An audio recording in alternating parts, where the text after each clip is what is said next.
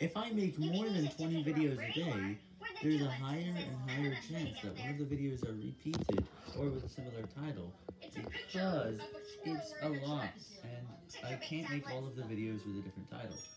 So, instead, we allow at least one video to be similar.